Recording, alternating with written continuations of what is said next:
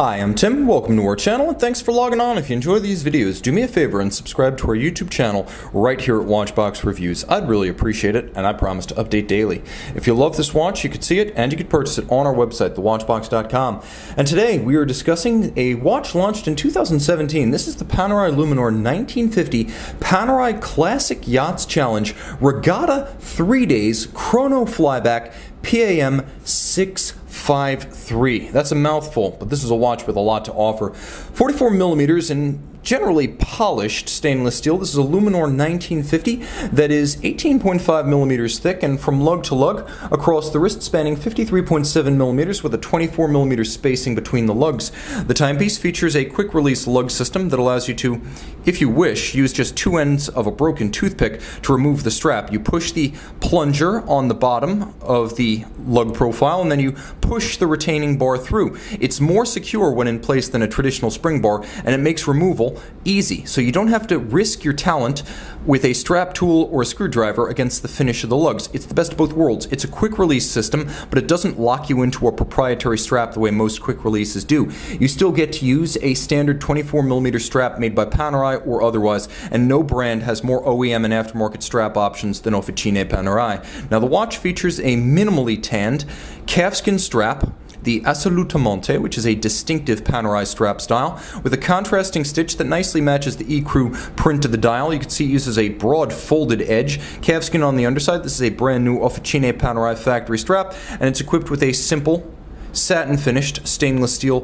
trapezoidal buckle for quick on the fly adjustment. The Panerai Luminor 1950 case, inspired by the 1950s reference 6152 and launched in the modern era on the PAM 127 of 2002. It's different from the Luminor Bertarini case, which looks like this and was designed in 1993 by Panerai machinist Alessandro Bertarini for the first civilian Panerai watches. It's still beloved and still in production, but the Luminor 1950 is the more historically true case as well as the more complex shape. Can see here all in high polish, the device protecting the crown, though in satin for contrast, and it is an icon of design. I cover the dial, you see that crown guard, you know who made this watch. You even know what model it is. So you have that locking lever. It was part of a system designed in the late 40s by Panerai and implemented in the 1950s. So you get more protection than a shouldered crown guard, plus you get a way to unlock the watch. As you can see, I'm able to wind the watch now I don't have to thread out the crown. I am able to hack the watch. Note that not only does the watch feature hacking seconds, but a zero reset second system that zeroes out the constant seconds hand so you can set it more accurately against a reference time. You can also use that mechanism to set the watch. Now here's the thing. Unlike a conventional screw down crown, which threads the stem assembly into and out of the seal, this merely decompresses and recompresses the crown. As a result, it doesn't wear out the seal. That was the original idea behind this design. And also, it makes it a lot harder harder to jump into the water than a screw down crown because, well, that's hard to miss, and a screw down crown might be a few turns out without being noticed. You get that full protection that a shouldered guard doesn't give you, and of course, this is a post 2007 version of the mechanism, so you can see there's a little runner or bearing inside of the cam mechanism. The dial features a nautical tachymeter outboard, and as you can see, this is a calibration starting with a low 30 knots. So it says it says units and it's in nautical miles. So this is for timing slow-moving things, sailboats. And of course the Classic Yachts Challenge, which inspires the watch, is a regatta series for restored classic yachts. So that makes sense. Now there is that rehaut featuring the tachymeter outboard. Let me see if I can get a little bit closer, give us a bit more light so we can more easily see the calibrations. And it is a remarkably deep rehaut sloping down from the bezel to the dial base. The bezel here more minimal than on other Panerai watches.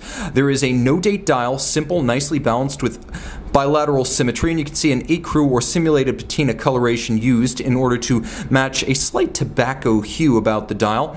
The watch features radial minutes, so you can see chronograph hours up to 12 at 3 o'clock, a radial minutes display, and then you have chronograph seconds, and it is a flyback chronograph. So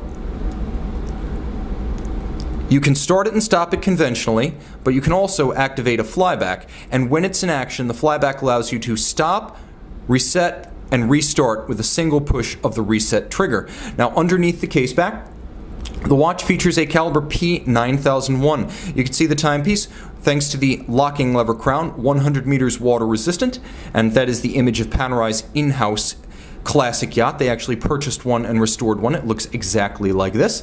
But the movement, automatic winding twin mainspring barrels, 72 hour power reserve, the zero reset, as well as a time zone function. So you have the zero reset hacking, but then you also have a time zone function that allows you to move the hour hand independently, even as the local time the minute hand doesn't change and the chronograph continues to run. It's a wonderful technical refinement. 37 joules, manufacture. It features both a column wheel and a vertical clutch, so the action is crisp, and thanks to the vertical clutch, you can leave the chronograph running full time, and when it starts, it st starts without any jump or stagger. So it's a very precise system. It also features the flyback functionality. This is a watch of manifold refinements. The Panerai Luminor Regatta, 1950 Panerai Classic Yachts Challenge Regatta, three days chrono flyback. You can see the 653 and make it yours on the watch box. The Luminor Regatta Flyback by Night.